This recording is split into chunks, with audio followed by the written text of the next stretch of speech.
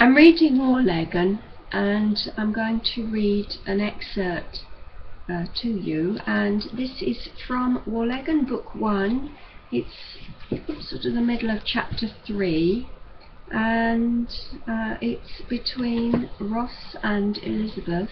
Ross and Demelza have gone over to the Trevaunances have been invited over and a social gathering and um, Elizabeth and Francis have gone with them. Uh, is there anything else? There's um, Caroline Penvenen is there because she is betrothed to Unwin Trevaunance, but they are not engaged. And Unwin Trevaunance is Sir John's brother. Hmm. Enys had so probed into the jaw that the wound had never healed. His old friend Dr. Choake would bear him out, ignorance and neglect. But Sir John found the move a mistaken one, because not only did Caroline speak quickly in Dr. Enys's defence, but she found an ally in Ross Poldark, and the baronet, to his annoyance and still more to Unwin's, found himself between two fires. Ross had thought Caroline pert on their first introduction, but now for the moment they were in accord, and it was noticeable at the end of the argument that Caroline's eyes travelled over him approvingly. Elizabeth said in an undertone to Ross, She's lovely, isn't she? Very striking. Beauty's a matter of taste.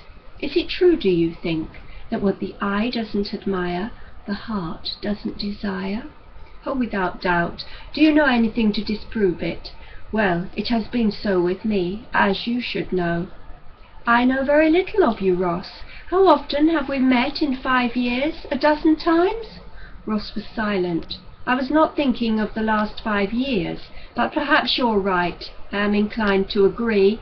I know very little of you either, and you've changed so much, inwardly I mean. Have I? Tell me in what way the deterioration is most noticeable. That's asking a reassurance, isn't it? You may have it. It's a different Elizabeth, that's all. The opposite of deterioration, but startling at times. I understand now how young you were when you promised to marry me. Elizabeth put her hand out to her wine-glass, but only fingered the stem. I should have been old enough to know my own mind. Something in the way she spoke surprised him. The sudden feeling in her voice was like self-contempt. It swung their talk right away from the polite, slightly flirtatious conversation that had been passing between them. He looked at her, trying to weigh this up, said cautiously to provide her with the normal escape, Well, let us agree you were young, and then you thought I was dead.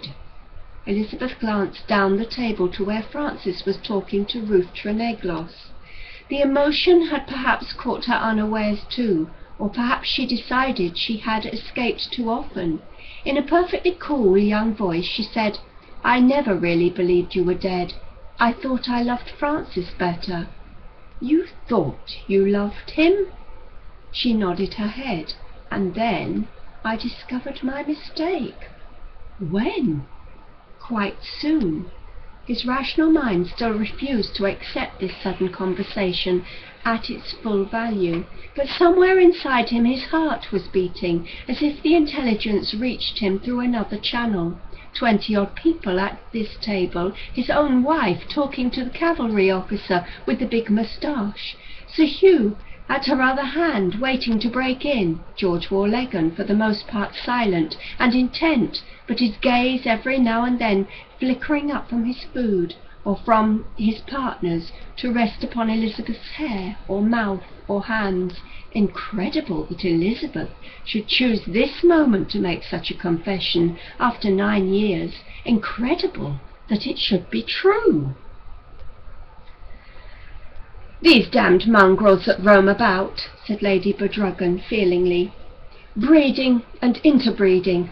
They make it uncommon hard to keep one's stock pure. You're that much luckier, John, dealing only in cattle. What did you say your dog was, miss? A pug, said Caroline, with beautiful black curly hair and gold brown face no bigger than the centre of this plate. Unwin regards him with the utmost respect and affection, don't you, dear? Respect, yes, said Unwin, for the teeth are devilish sharp. Ross said to Elizabeth, This is some pleasant joke you are trying on me. Elizabeth, Elizabeth smiled with a sudden brilliant, brittle brilliance. Oh, it's a joke indeed, but it is against myself, Ross. Didn't you know? I wonder you never guessed. Guessed? Well, if you did not guess, it might have been more gallant of you to have met this barefaced confession halfway. Is it such an astonishment that a woman who changed her mind once could change it twice?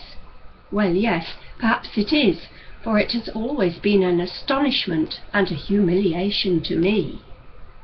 After what seemed a long time, Ross said, That first Easter I came to you after you married, you told me then plain enough that you loved only Francis, and that no thought and I had no thoughts of anyone else. Was that when I should have told you? only a few months after my marriage, and with Geoffrey Charles already alive in me, something was taken away from Ross, and another dish put in its place. Whatever the object of the party, Sir John was not sparing his cellar, and talk at the table was louder than it had been. Yet Ross had to struggle with himself not to push his chair back and get away that Elizabeth should have chosen this moment, unless it was that only the presence of other people had given her the courage to tell him point blank what she had long wanted him to know.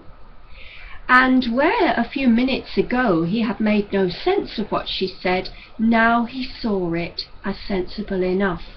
Every second that passed fitted in more inescapably into the pattern of the last nine years. And Francis, he said, does he know? I've said, or I've already said too much, Ross. My tongue. A sudden impulse. It had best been forgotten, or if not forgotten, disregarded. What were we talking of before this? Three places down the table, Francis' slightly raffish face, in which the vivid lines of youth were losing themselves into too earlier deterioration.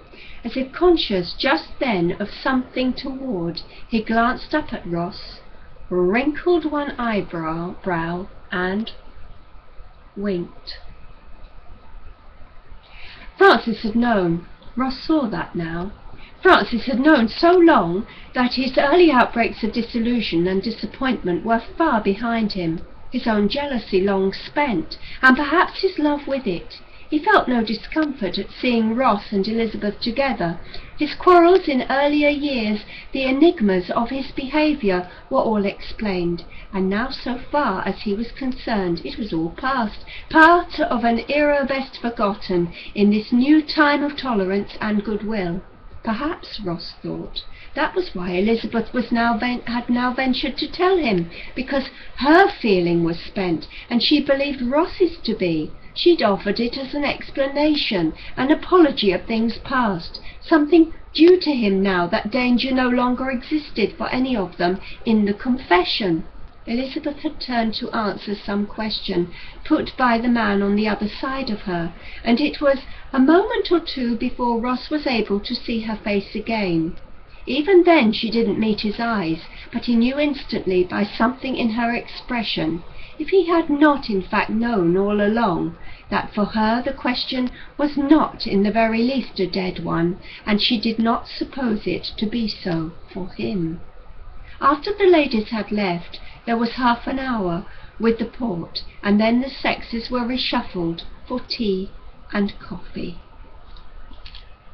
So there we are, right at the beginning of Warleggan, you can see that Elizabeth has had an effect upon Ross and I think she's upset him actually. I think he's upset after the confession. It's certainly shaken him. He had, didn't have an inkling, the thought didn't cross his mind that she could still be interested in him and still that she loved him always. I love these stories, don't you? If you stuck it this far, you probably do. Good evening.